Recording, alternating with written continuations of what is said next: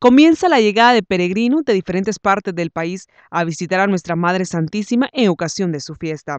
Yo vengo cada año y la fe que yo tengo es que, para no mentirle, pues en mi casa tengo el cuadro de ella y cuando yo me siento incapacitado, yo le pido que me dé fuerzas y ánimo para poder sobrevivir y no poder perderme siempre, venir a la alborada, que es lo más lindo y bello que tiene nuestra madre. Vengo desde la ciudad del paraíso, me vengo en transporte, a veces sí logro venirme en las caravanas que se hacen, pero como las, caravanas ya vienen el, el mero día, yo me vengo unos 3, 4 días antes.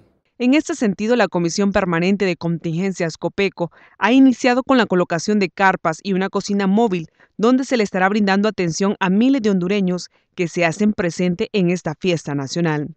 Básicamente se puede decir que tenemos un 85 a un 90% para que el día de mañana, cuando tengamos la mayor cantidad de peregrinos visitando lo que es la basílica pueda sentirse seguro y pueda sentirse acompañado. Es por ello también que contamos con un campamento donde el campamento ha sido diseñado para que cuente con un área de lavandería, que tenga sus baños, que tenga sus duchas. También eh, ha sido potenciado por el despacho de la primera dama, ya que ella también nos va a ayudar con el tema de alimentación, donde vamos a elaborar 3.000 platos por tiempo de comida, un total de 9.000 diarios.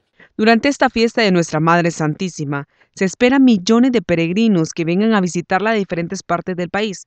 Es por ello que más de 22 grupos de socorros estarán apoyando y brindando seguridad a estas personas. Desde Notifides le invitamos a fomentar una cultura por la paz. Con imágenes de Ludin Duró, les informó Ingrid Almendares.